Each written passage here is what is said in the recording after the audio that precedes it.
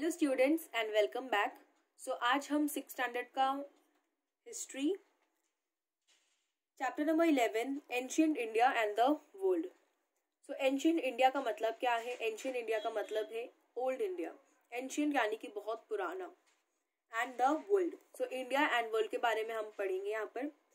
सो so first आज हम देखेंगे टू टॉपिक्स है eleven point one and eleven point two 11.1 India and the countries of the West 11.2 India and other countries in Asia so our first topic is 11.1 India and the countries of the West so India और जो दूसरी countries थी west side में so उसके बारे में हम यहाँ पर पढ़ेंगे देखेंगे क्या क्या है people of the Harappan civilization civilization का मतलब है society had developed trade relations with the countries of the west.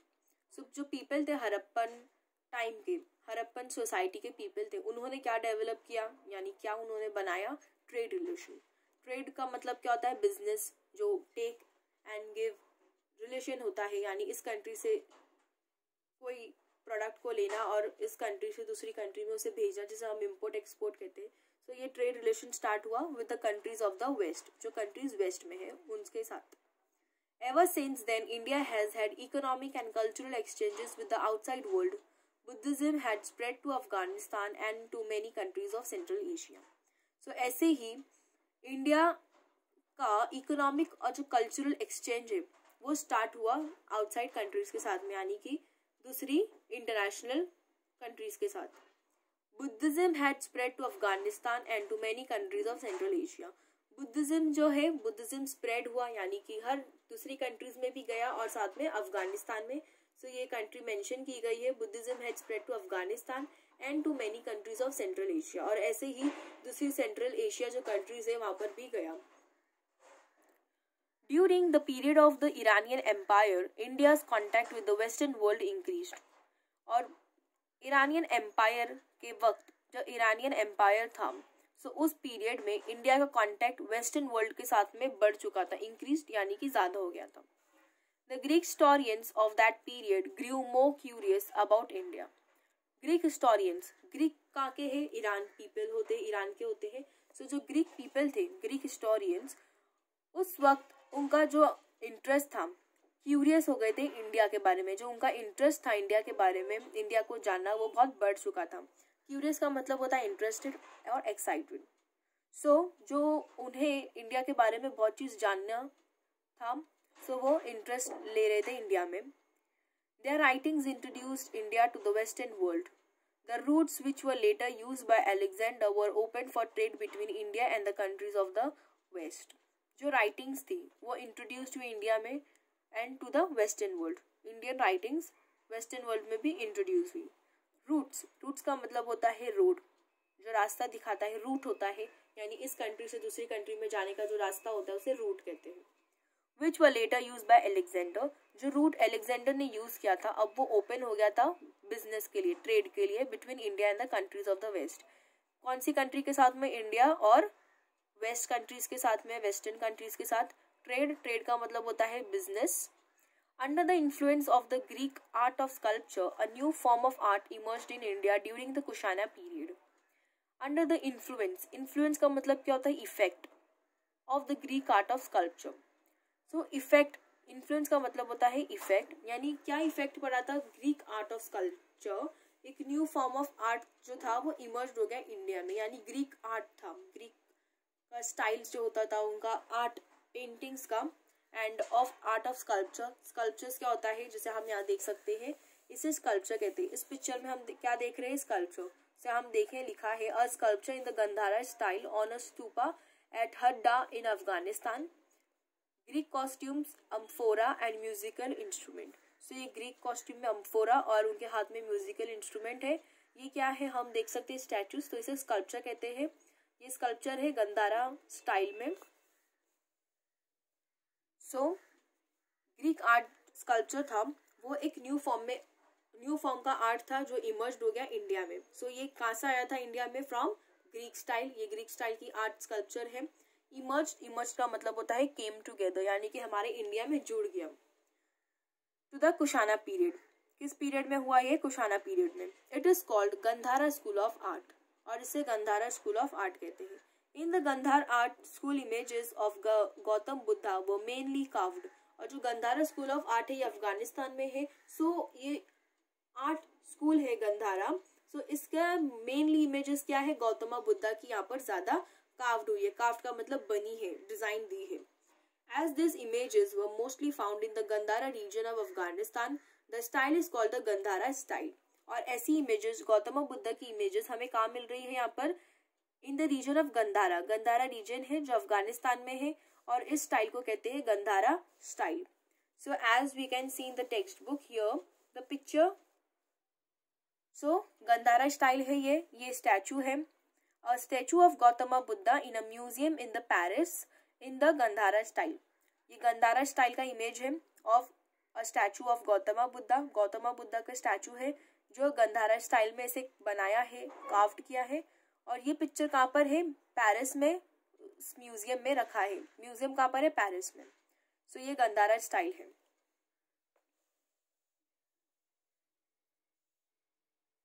The facial features of the statues made in this style are similar to those of the Greek people facial features facial features क्या होता है? Facial features का मतलब होता है जो चेहरा। जो चेहरा होता है जो स्टैचूज का बना था वो किससे सिमिलर है? सिमिलर का मतलब हम कहते हैं सेम यानी सेम किसके साथ था? ग्रीक पीपल के साथ में जो उनका स्टाइल था बनाने का फेस स्टाइल बनाना. सो so, ये किससे मैच हो रहा था? ग्रीक पीपल से. The early coins that were minted in India were also like Greek coins और जो अर्ली कॉइन्स जो कॉइन्स थे इंडिया में पहले वो जो बने थे मिंटेड यानी कि बने थे इंडिया में वो सेम बिल्कुल कैसे थे? ग्रीक कॉइन्स के तरह थे. So here we can see a picture, a sculpture in the Gandhara style on a stupa at Hadda in Afghanistan. ये stupa है यानी कि statue है। Sculptures है अफ़गानिस्तान में है हड्डा ग्रीक कॉस्ट्यूम्स अम्फोरा ये जो स्टैचू यहाँ पर हम देख रहे हैं स्कल्पचर का उसमें जो कॉस्ट्यूम दिया गया है यानी काफ्ट किया है कॉस्ट्यूम के साथ में सो उस कॉस्ट्यूम को कहते हैं अम्फोरा एंड म्यूजिकल इंस्ट्रूमेंट्स उनके हाथ में क्या है musical instruments as you can see यहाँ पे कुछ वायलिन टाइप है जैसा है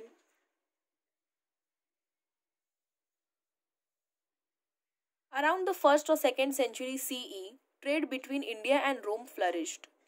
First और सेकेंड सेंचुरी में जो ट्रेड था इंडिया और रोम के बीच वो फ्लरिश्ड हो गया यानी कि डेवलप्ड हो गया यानी बन चुका था स्टार्ट हो गया था। The ports in South India also had a large share in this trade ports ports क्या होता है? जिसे बंदरगाह कहते हैं जिसे बंदर कहते हैं, जहाँ पर शिप्स आती है शिप्स डॉक पर रुकती है। डॉक यार्ड जिसे कहते हैं, यानी जहाँ पर शिप्स आकर अपने यार्ड पर रुकते हैं, उसे पोर्ट्स या डॉक कहते हैं। सो इन साउथ ये साउथ इंडिया में था। So had a large share South Indians के साथ में भी एक अच्छा शेयर था ट्रेड था of India and Rome trade का मतलब है business some articles made of bronze were found in the excavation at Kolhapur कुछ जो आर्टिकल्स थे, यानी आइटम्स जो थे, वो ब्रॉन्ज से बना हुआ था। सो so, ये भी हमें मिला at the in the excavation at Kolhapur excavation यानी कि क्या होता है? प्रोसेस ऑफ़ डिगिंग यानी जो कहीं सारी पुरानी पुरानी चीज़ें हम केव्स में देखते हैं, या किसी वॉल के पीछे छिपा हुआ, या किसी वॉल पर किसी चीज़ का इम्प्रेशन यानी छाप पड़ जाती है, उसे हम एक्सकावेशन कहते हैं। तो यहाँ पे एक्सकावेशन क्या है? जो पुरानी चीज़ें एकदम एंशियंट टाइम की जैसे कि कोई मेटल या कोई इंस्ट्रूमेंट हमें मिला हो कोई टॉयज मिला है या ऐसे हमें स्टेचूज जो मिले हैं उसे हम एक्सकावेशन कहते हैं। सो so, एक्सकावेशन में हमें क्या मिलता है? ये सब आइटम्स मिलते हैं। एक्सकावेशन एक ऐसा प्रोसेस है जिसमें डिगिंग होता है यानी खोदी जाती है चीज़ों को या वॉल के पीछे से उसे निकाला जाता है यानी खोद खोद कर डिग कर कर उसे एक्सकावेशन कहते हैं यानी कि process of digging at Kolhapur तो ये एक्सकवेशन कहाँ मिला है? कोल्हापुर में। कोल्हापुर जगह है हमारे महाराष्ट्र में in India they have been made in Rome the excavation at Arikamedu in Tamil Nadu have also brought to light many articles made in Rome so ये सब आर्टिकल्स कहाँ से बनकर आए थे? रोम में। The excavation at Arikamedu Arikamedu में जो हमें आइटम्स मिली थी, जो एक्सकावेशन हुआ था, वो तमिलनाडु में है। अरिकामेडू जगह जो है वो तमिलनाडु में है। और ये जितनी भी आइटम्स जो आर्टिकल्स थी वो कहाँ पर बना था? रोम में। Both this places were important centres of trade between India and Rome और ऐसे ही जो ट्रेड बिज़नेस था सो so रोम से सामान यहाँ पर आ रहा है। रोम से आर्टिकल्स आ रहा है यहाँ पर। इंडिया से कुछ आर्टिकल्स या कुछ इंडिया से सामान जा रहा है। ऐसे ही तो हमने यहाँ पर कुछ आर्टिकल्स जो देखा था एक्सकावेशन में जो रोम में बनी थी और रोम से इंडिया में आई है। सो so, एक्सकावेशन हमें पहला Kolhapur and also in Tamil Nadu जो अरिका मेडू जगह है तमिलनाडु में वहाँ पर मिला। So both this places were important centres of trade between India and Rome और ये इम्पोर्टेंट सेंटर्स थे ट्रेड सेंटर्स था इंडिया और रोम का। Many such trade centres are mention in the literature of those times और जो ऐसे कई सारे दूसरे बिज़नेस सेंटर यानी ट्रेड सेंटर था, वो मेंशन है लिटरेचर में ऑफ़ दोज टाइम लिटरेचर क्या होता है? लिटरेचर का मतलब होता है राइटिंग्स जो भी लेटर या कुछ नोट्स लिखा है, उसे लिटरेचर कहते हैं। यानी एक बुक पाइल्ड बनी है एंशियंट टाइम्स का बारे में लिखा हुआ, उसे लिटरेचर कहते हैं। यानी कि writing in form of writing literature so we can see literature mean form of writing example notes here we can see a gold coin a gold coin of the Roman emperor Augustus found at Arikamedu Arikamedu में क्या मिला है हमें? Roman emperor का। उसका नाम क्या है? रोमन एम्पर का ऑगस्टस। ये पिक्चर है, फ़ोटो है उस रोम के किंग की, रोमन एम्पर जिसे कहते हैं। और उसका नाम है ऑगस्टस, जो ये कॉइन है, कहाँ पर मिला है? गोल्ड कॉइन है। अरिका मेडू में फाउंड आउट हुआ था। सो यहाँ पर पिक्चर है किंग की, रोमन एम्पर की पिक्चर है, जिसका नाम है Augustus. Alexandria was an important port in Egypt Alexandria क्या है? जगह का नाम है, यानी एक पोर्ट है, जो इजिप्ट में है। पोर्ट का मतलब where ships load and unload यानी शिप्स आती है यार्ड में, और वहाँ पर शिप्स में से सामान निकाला जाता है या सामान डाला जाता है। दूसरी कंट्री से कुछ चीज़ आती है और कुछ चीज़ हम इस कंट्री से दूसरी कंट्रीज़ में बेचते हैं। फॉर एग्ज़ाम्पल हमारा इंडिया है, बहुत फ़ेमस है रिच है स्पाइसेस में सो मसाला होता है। सो मसाला इंडिया से आता है और इंडिया से जाता है दूसरी कंट्रीज़ में और दूसरी कंट्री से कोई भी चीज़ यहाँ आती है। सो so, ये सब क्या है? ट्रेड एक्सचेंजेस है। तो सेम चीज़ यहाँ पर क्या है? पोर्ट है। तो पहले के ज़माने में मोस्टली सी वेव्स यानी सी रूट यूज़ किया जाता था बहुत कन्वीनियंट शिप्स में से सामान आता जाता था। सो so, पोर्ट बहुत इंपॉर्टेंट था in ancient times so Alexandria was an important port in Egypt Alexandria एक इंपॉर्टेंट पोर्ट है। कहाँ पर? इजिप्ट में। इजिप्ट एक कंट्री है। Port where ships load and unload. The Arab merchants carried Indian goods up to Alexandria. The Arab merchants, merchants क्या होता है? बायर एंड सेलर जो बिज़नेस मैन होते हैं बड़े बड़े उसे मर्चेंट्स कहते हैं। सो so, मर्चेंट्स कहाँ कहते हैं? अरब के थे। सो so, ये कैरीड करते थे इंडियन गुड्स यानी इंडियन जो भी सामान होता था इंडियन आइटम होता था कहाँ तक ले जाते थे? एलेक्जेंड्रिया तक जो इजिप्ट में है। From there they were send to the countries in Europe फिर एलेक्जेंड्रिया से वो किस कंट्रीज़ में भेजा करते थे सामान को? यूरोप में।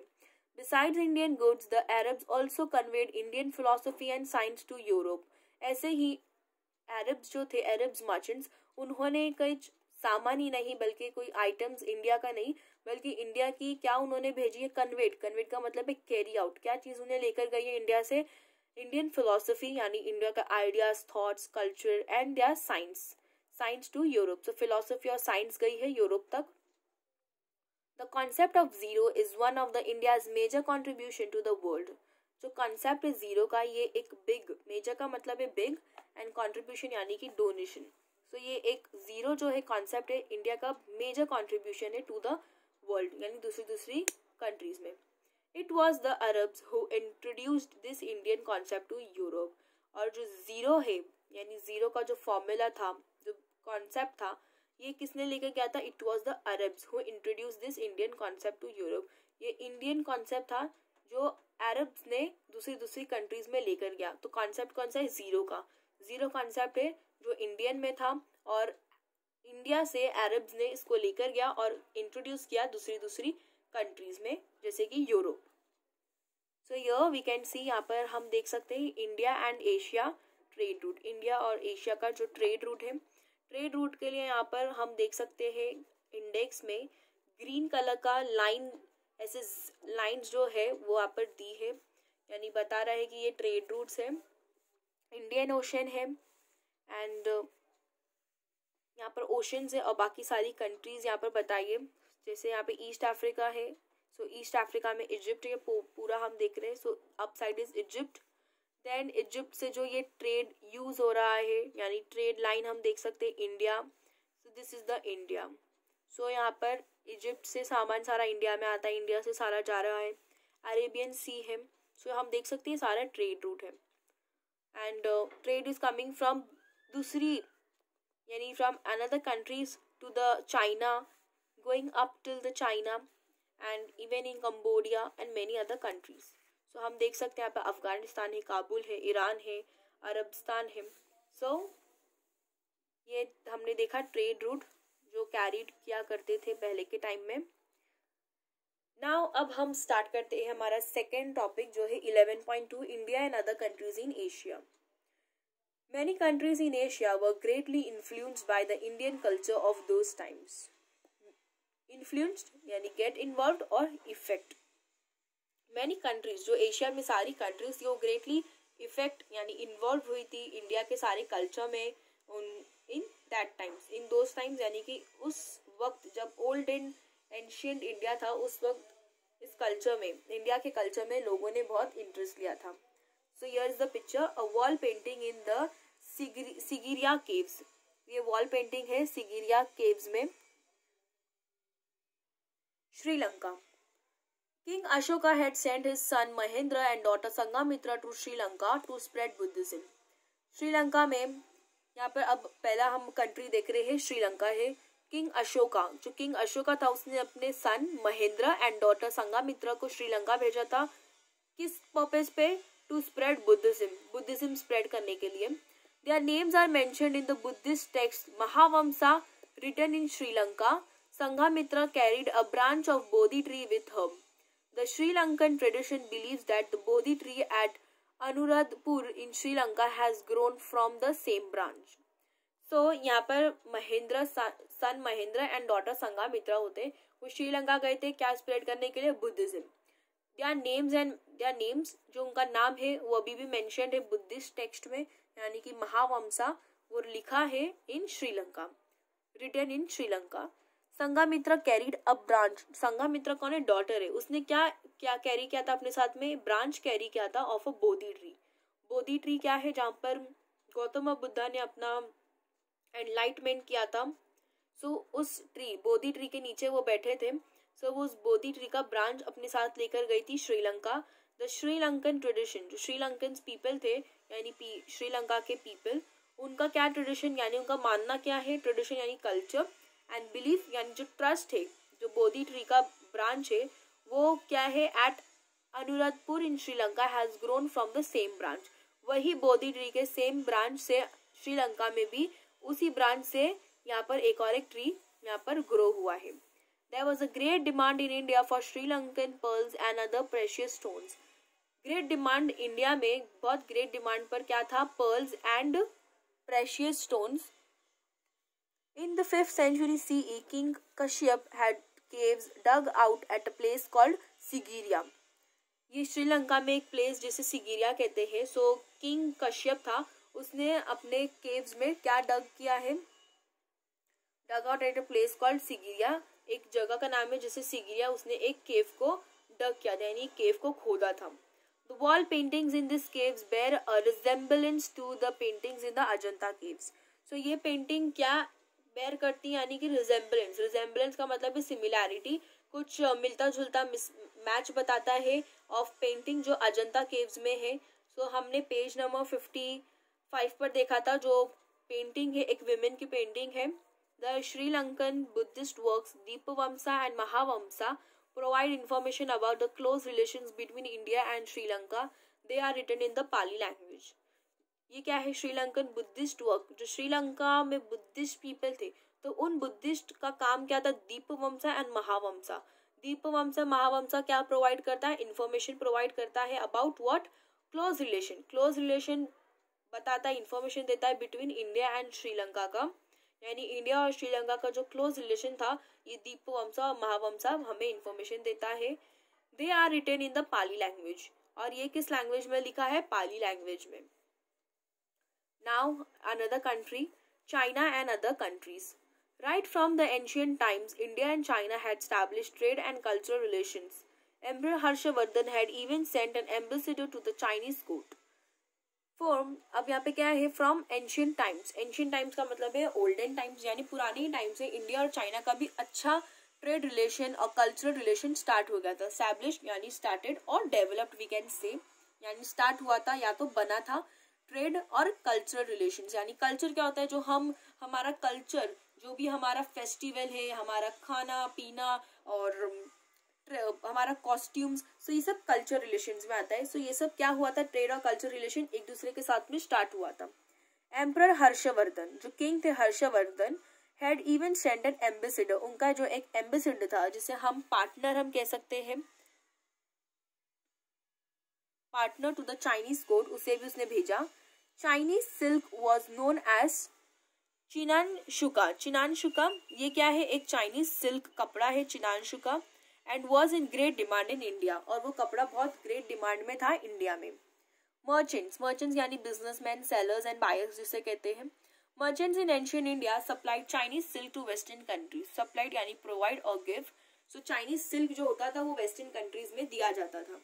The land route by which the silk trade was carried on was called the silk route so जो सिल्क मटीरियल था, वो चाइना से हमारे इंडिया में आता था और इंडिया में एक ग्रेट डिमांड पर था वो। The land route by which the silk trade was carried on was called the silk route silk route जो सिल्क कपड़ा आता था, जिस रास्ते से, यानी जिस रोड से आता था, उस रोड का नाम क्या हो गया था? यानी उस रूट को क्या नाम रख दिया था? Silk route some ancient places in India वो कनेक्टेड टू दिस रूट और कुछ एंशियंट प्लेस यानी ओल्ड प्लेसेस थे इंडिया में, वो कनेक्टेड थे इस रूट के साथ में। Nala Sopara near Mumbai in Maharashtra was one such place Nala Sopara जो ये जगह थी, ये मुंबई में है Mumbai in Maharashtra was one such place so ये नाला सोपारा जो है एक ऐसी जगह है, यानी ये दूसरी दूसरी भी है प्लेसेस जो कनेक्टेड है इस सिल्क रूट से बट यहाँ पर मेंशन इस टेक्स्ट में किया है Nala Sopara near Mumbai in Maharashtra was one such place the Chinese Buddhist bhikkhus Fahien and Yuan Chwang the Chinese Buddhist bhikkhus जो चाइनीज़ बुद्धिस्ट भिकूज थे Fahien and Yuan Chwang also came to India through this silk route तो जो ये भिकुस थे फाहिन और योंगचन ये भी यही सिल्क रूट से आए थे India in the first century CE the Ming emperor of China invited the Buddhist first century में जो मिंग एम्पर था, या यहाँ पर चाइना में इनवाइट किया था बुद्ध, बुद्धिस्ट को, यानी कि भिकुस भिकुस धर्म धर्म रक्षक and Kashyap Mangta to China यानी ये दो भिकुस थे। इनका नाम यहाँ पर है Dharmaraksha and Kashyapa Matanga to China the bhikkhus translated many Indian Buddhist text into the Chinese language और ऐसे ही, ऐसे कई सारे जो भिकुस ने ट्रांसलेट किया है मैनी इंडियन बुद्धिस्ट टेक्स्ट को इनटू चाइनीज़ लैंग्वेज में। यानी इंडियन बुद्धिस्ट जो राइटिंग्स थी, उससे किसमें ट्रांसलेट किया है? चाइनीज़ लैंग्वेज में। This gave impetus to the spread of Buddhism in China ये क्या देता है? इम्पिटस यानी कि पावर देता है स्प्रेड ऑफ़ बुद्धिज्म अब चाइना में। यानी कि ऐसे ही बुद्धिज्म स्प्रेड हुआ चाइना में। Later on later on Buddhism also reach Japan Korea and Vietnam ऐसे ही धीरे धीरे बुद्धिज्म जो है चाइना से बाद में कहाँ पर स्प्रेड होगा? Japan, Korea and Vietnam. So ना यहाँ पे चाइना और अदर कंट्रीज़ के साथ में एंड होता है।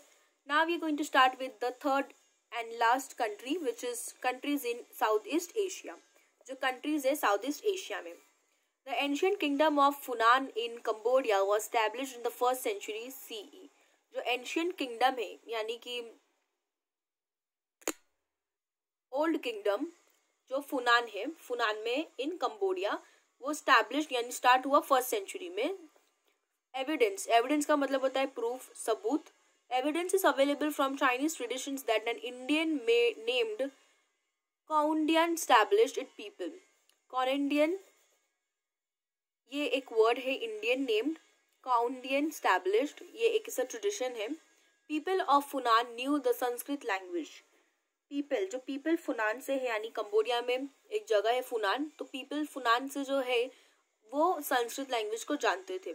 A stone inscription of that period is still in existence एक इन स्टोन स्क्रिप्शन है। इंस्क्रिप्शन का मतलब है राइटिंग यानी कुछ लिखा हुआ है, वो कहाँ पर एग्जिस्ट है, यानी कि आज भी प्रेजेंट है। एग्जिस्टेंस का मतलब है प्रेजेंट यानी अभी भी हम उस स्टोन पे देखने जाएँगे तो वो लिखा हुआ है। It is in Sanskrit so वो इंस्क्रिप्शन स्टोन इंस्क्रिप्शन किस लैंग्वेज में है? संस्कृत में है। In many other countries of South East Asia two small kingdoms established by people of Indian origin had emerged. और ऐसे ही जो स्मॉल स्मॉल छोटे छोटे किंगडम है, वो स्टैब्लिश हुआ है of people Indian origin and emerge यानी कि इंडियन ओरिजिन भी है, वो इमर्ज हुआ, यानी कि एक साथ जुड़ गया है came together this kingdoms help to spread Indian culture in South East Asia और ऐसे ही ये किंगडम्स हेल्प किया है क्या स्प्रेड करने के लिए इंडियन कल्चर को साउथ ईस्ट एशिया में? Indian culture had a deep impact on the art and culture life of south east Asia Indian cultures को एक बहुत ही डीप इम्पैक्ट यानी एक इफ़ेक्ट आया किस पर आर्ट एंड कल्चर को लेकर ऑफ़ साउथ ईस्ट एशिया पर। Dance dramas based on stories from the two Indian epics Ramayana and Mahabharata are popular in Indonesia even today. Ramayana Ram Ramayana and Mahabharata ये two drama है जो बहुत ही popular यानी famous है in Indonesia and also today यानी आज भी हम देखेंगे तो ये टू ड्रामास फ़ेमस है इंडोनेशिया में। This influence continue this influence continue to increase over the years और ये ऐसे ही इन्फ्लुएंस करते गया, यानी कि इफ़ेक्ट पड़ते गया सब पर, यानी इंक्रीज होते गया, बढ़ते गया सालों बार साल साल in the ancient period the Buddhist religion spread to Myanmar और ऐसे ही एंशियंट पीरियड में, यानी ओल्ड टाइम में जो बुद्धिस्ट रिलीजन है, वो स्प्रेड हुआ म्यांमार में थाईलैंड इंडोनेशिया एक्सेट्रा ये क्या है? थ्री कंट्रीज़ का नाम है म्यांमार थाईलैंड एंड इंडोनेशिया ऐसे ही बुद्धिस्ट रिलीजन स्प्रेड हुआ to all over the countries also in the later years temples of lord Shiva and Vishnu were also built them और ऐसे ही बाद में लॉर्ड शिवा की और विष्णु की क्या बिल्ड हुई है स्टैचू बिल्ड हुई यानी उनकी टेम्पल्स बिल्ड हुई है म्यांमार थाईलैंड और इंडोनेशिया में। This year we have reviewed Indian history from three thousand B C E to the eight century C E next year we will study the history of Indian from the ninth century C E to the eighteen century C E the history of this period is known as medieval history so students now year we are completed with the chapter तो हमारा last topic क्या था? Countries in south east Asia अब यहाँ पर हमें क्या बताया this year we have reviewed Indian history from 3000 BC यानी हमने इस एकेडमिक ईयर में, यानी सिक्स स्टैंडर्ड की हिस्ट्री टेक्स्ट बुक में हमने क्या देखा है? इंडियन हिस्ट्री को, जो 3000 बीसी से स्टार्ट हुई थी to the eight century C तक। नेक्स्ट ईयर यानी कि अब हम नेक्स्ट ईयर सेवेंथ में हम जैसा देखेंगे टेक्स्ट बुक में नेक्स्ट ईयर की, कि हम स्टडी स्टडी करने वाले history of India from the nineteen century जो नाइनटीन नाइन्थ सेंचुरी सीई से स्टार्ट होएगा to the eighteen century CE now the history of this period is known as medieval history और अब से इस पीरियड जो हम पढ़ने जाएँगे, वो उसे मिडीवल हिस्ट्री कहा है so students now we are done with the chapter explanation ancient India and other, and world. Hope students, you like this video and you understand the whole concept of this chapter. So students please give a big thumbs up to this video. Subscribe to our channel, like, share and comment, share with your friends and with your classmates. Till then take care and thank you.